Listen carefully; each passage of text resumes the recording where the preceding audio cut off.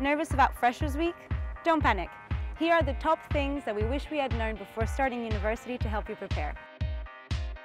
Learning to manage your budget will be vital as a student as you'll need to ensure that you have enough money for food, going out, socialising and things such as gym memberships.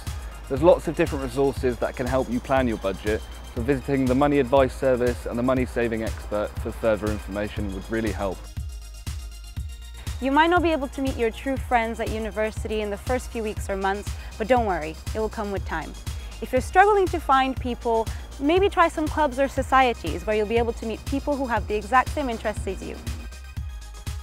Some cooking skills will serve you well throughout university, but you don't need to be the next Gordon Ramsay, but learning simple skills like cooking pasta and rice will serve you well throughout your time. Don't stress if you feel homesick. It's a completely normal feeling that so many students have when they come to university for the first time.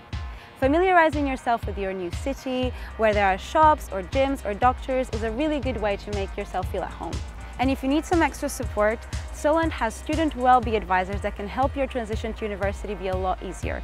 Go and check out the Student Hub for more information on this. You don't need to buy all of the books on your reading list. The Solent Library has a huge selection and if the book you need isn't in, you can always reserve it or request an interlibrary loan. If you really want to buy them, look at purchasing them second hand as it's a really good option of saving money. If you'd like to work alongside your studies, there are many opportunities in the university to work at campus jobs. And you can even apply to be a student ambassador, where you get to help at open days and different events throughout the year. Your first year doesn't count towards your final grades, but that's not to say it isn't important. Creating a routine for yourself will serve you well throughout university. And don't leave your assignments until the last minute, as you could end up making mistakes.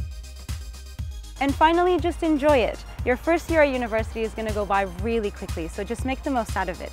Try out all the societies and clubs you're interested in and find what suits you best.